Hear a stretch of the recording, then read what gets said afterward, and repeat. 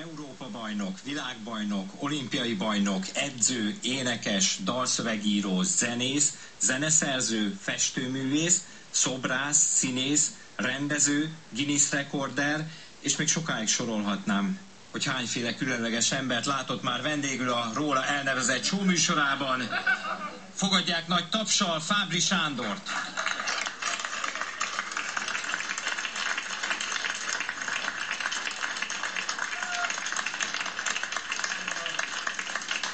Jó estét kívánok, nagyon kedvesek. Hát kérem szépen egy nyári kalandomról szeretnék beszámolni. Volt nálunk ott Leányfalun valami kis hangverseny, és kicsit később így beültem hátra. És oldalt is ültek. És egy egészen alkalmatosnak tűnő hölgyecske, így jójózott rám, ahogy annak idején Rusztics kolléga mondta, lökte a piros heteseket. Majd a koncert után felállt és megindult felém. És mondom, hú, hát ez már így van, hát Sanyi, hát azért nézek én tükörbe, majd én teljesen hülye, hát tudom én azért a helyemet, hogy nagyjából milyen perspektíváim vannak, és a mellettem álló csajt megölelte.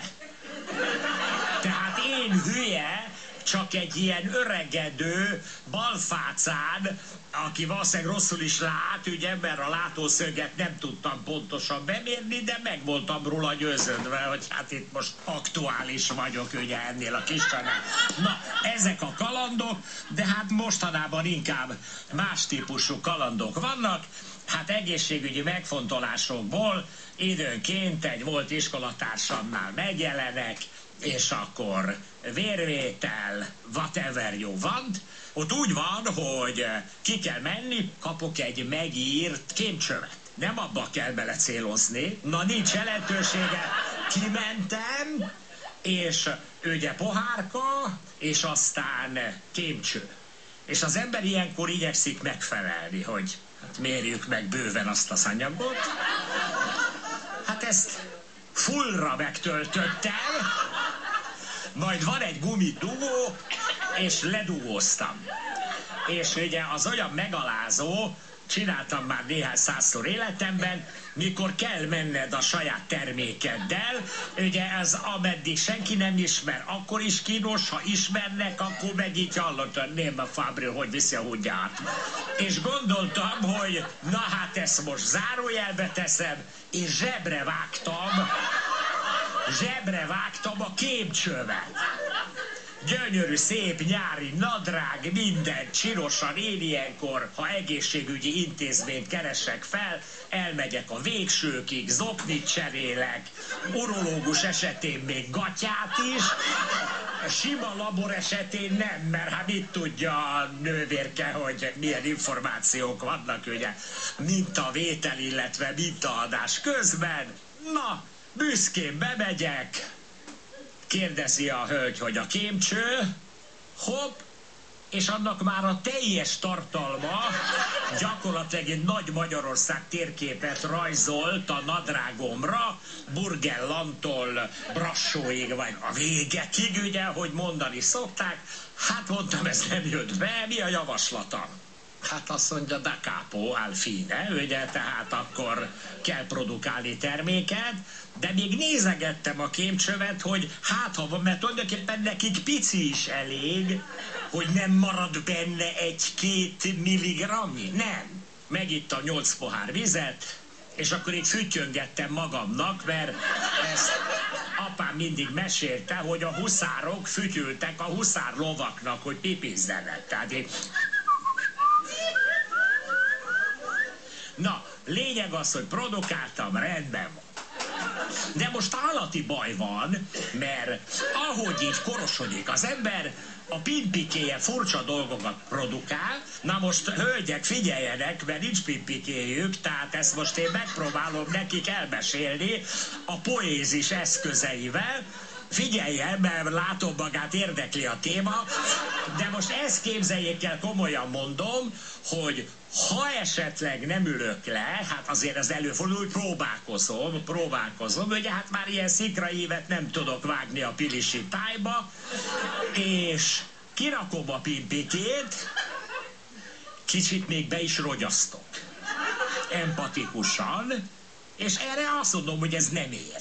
Olyan irányba megy a pipi, hogy mindenre számítanál, de arra nem. Tehát azt képzeljék el, hogy pipike irányban, tessék figyelni, és jobbra-hátra pipizeg, gyakorlatilag három csempényire a fajasztor.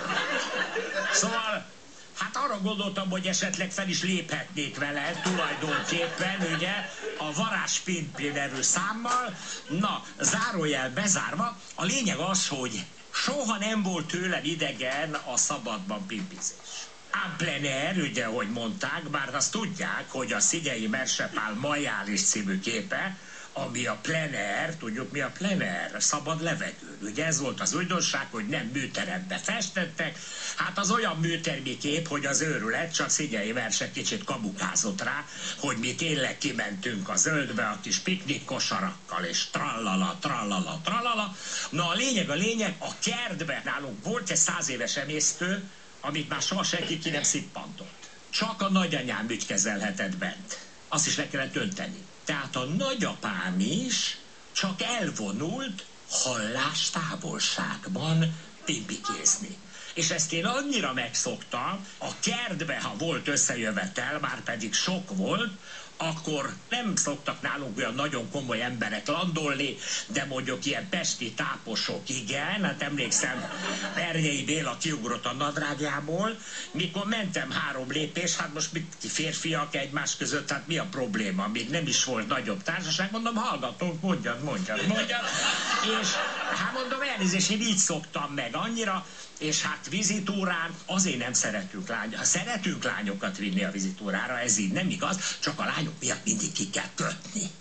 Ugye, mert ők nem tudnak a hajóból pimpizni, mi pedig ezt meg tudjuk tenni, pontosabban addig szabad sört inni, amíg ezt meg tud tenni. Na a lényeg a lényeg, hogy ez az én drága Pista barátom, akihez járok időnként ilyen egészségi kontrollra, úgy gondolta, hogy szedjek egy kis vízhajtót.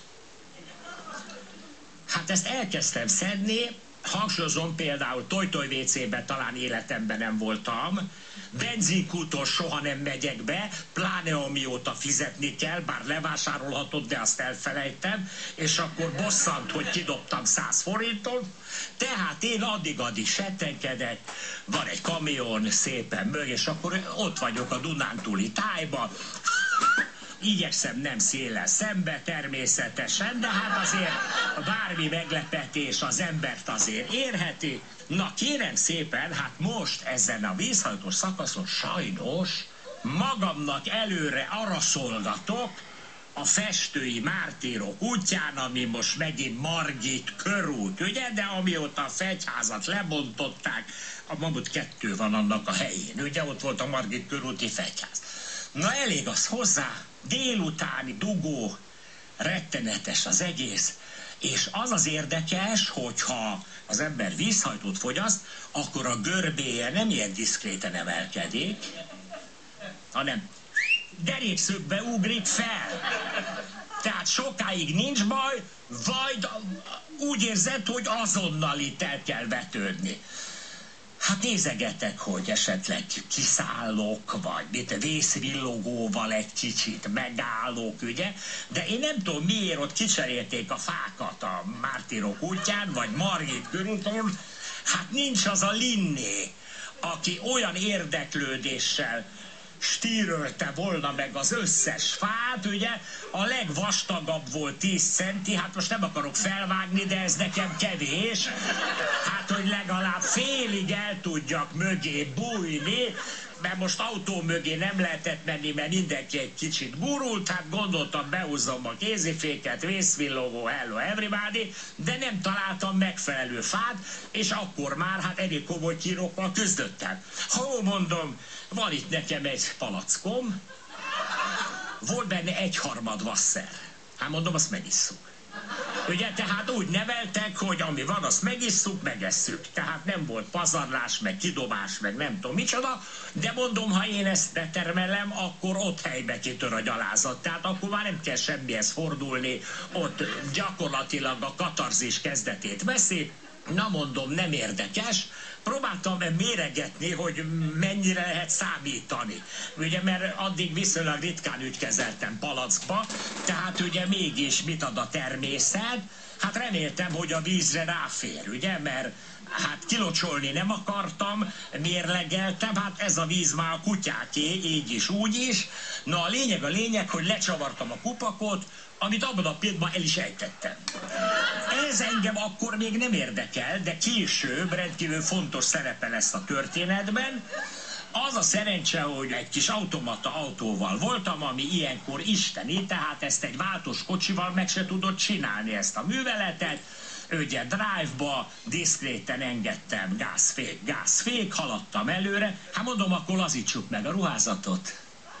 Csak egy egész picit koccantam be az előttem lévőben, mondom, hát Soldigog, remélem semmi nem történt, de nem szálltam ki, mert akkor már ugye félig leeresztett gatyába voltam, és nem akartam fokozni a helyzetet, hogy félárbóca eresztett gatyába grasszálok a Margit körúton, az nem venné jól ki magát. A lényeg, a lényeg, hogy így gondolkoztam, hogy hát de hogy fog beférni. De szerencsére milyen kegyes a természet és a jóisten, mert ilyenkor a kis pimpili az úgy néz ki, mint egy 15 éves pécsi bőrkesztyű kisúlya. Ugye? Tehát azt hiszem, hogy el tudjuk képzelni. Rendben van. Leeresztem a cuccot. Nem pipiltem jobban mellé, mint otthon. Tehát a százalék az nem volt semmiben se rosszabb. Rendben, elvégeztetett visszarakom a cuccot, hát ha esetleg rendőrelvtárs vagy bármi történhet. Hát mondom, akkor keressük meg a kupakot. Kiszállni nem tudtam, fogom, próbálok alánézni, kupak nincs. Hát mondom, akkor itt valamit tenni kell, és akkor arra gondoltam, hogy a szorult helyzet csiszolja az elmét, ahogy drága Lojzi nagyapám mondta, nem leszek most sem környezetbarát, nem leszek politikailag korrekt. Meleg nyári este volt. Mondom én ezt a palackot egy laza mozdulattal. Hus! És kidobom a retegbe. Megpróbáltam ezt megtenni, és akkor kellett rájönnöm, hogy nem kell állandóan ablakot pucolni. Ding! És az ablak föl volt húzva.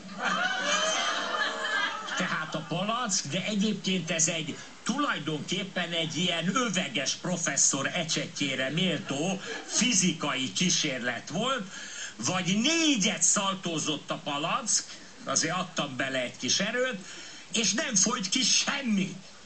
Egy mozdulattal. Letekertem az ablakot. Ja, hát nyomni kell, lejön. Tehát, mert ha tekerni kellett volna, már felejtő. Elhagyjuk a császáruszodát. Táj! Mondom, meg vagyok mentve. Ebbe a pillanatba egy elemlámpa nyolcas rajzol az éjszakába.